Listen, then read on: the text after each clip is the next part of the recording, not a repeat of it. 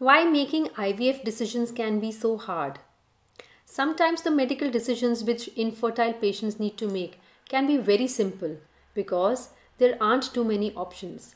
Thus, if your tubes are blocked, your only treatment option is IVF. So your only decision is which IVF clinic to select.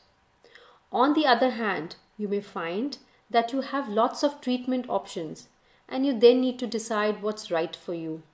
Thus, if you're older, you may be able to get pregnant with your own eggs, but you know that your chances of getting pregnant with donor eggs are much higher. You are not sure which is the right decision. Should you go for donor eggs because it has a higher success rate?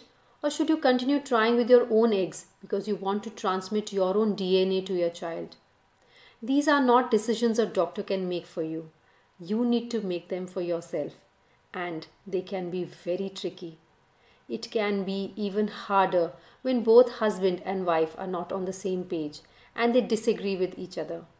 You have to sit and discuss this thorny issue until you find a decision which both of you are pleased with. You need to use your head, but you need to listen to your heart as well.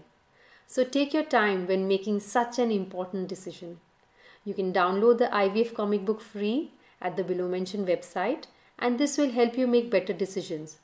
Or you can send your medical details to Dr. Malpani by filling in the form at the below mentioned website so that he can guide you.